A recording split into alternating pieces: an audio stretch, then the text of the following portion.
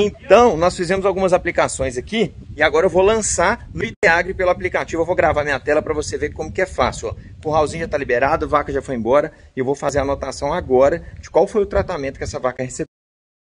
Então, já estou no aplicativo aqui. Eu vou clicar em lançar dados.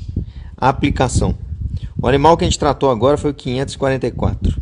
No dia de hoje, produto. A gente acabou de fazer a aplicação de Maxican nele já cadastrado aqui, por quê? Porque ele já está na minha base do estoque. As notas fiscais que eu compro da entrada, tá? A dose nós demos 7 ml para esse animal, certo? E vamos confirmar. E tudo certo.